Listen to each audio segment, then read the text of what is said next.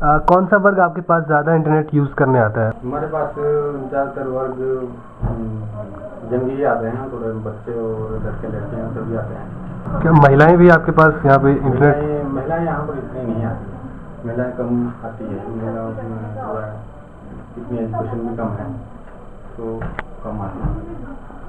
थोड़ा थोड़ा कल्चर भी अलाउ नहीं करता है। आप इंटरनेट यूज़ करते हैं? हाँ जी। कहाँ पे यूज़ करते हैं? मैं मोबाइल पे करता हूँ। अच्छा तो इंटरनेट यूज़ करने के बाद आपके जीवन में या आप में क्या बदलाव आप महसूस करते हैं?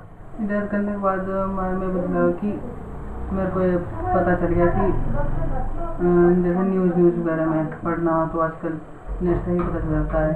अगर कोई चीज़ पता करना हो जैसे मोबाइल कपड़े उपड़े वगैरह तो आजकल नेट से ही पता चल जाता है। तो क्या अब आप साइबर कैफ़े जाते हैं? नहीं जाते हैं। जब लोगों के पास होंगे तो हमारे काम में तो फ़र्क पड़ेगा ही, क्योंकि मैक्सिमम जो उनकी रिक्वायरमेंट होगी मोबाइल में ही पूरी कर लेंगे। तो हमारे को काम में तो ये है कि बंद हो जाएँगे।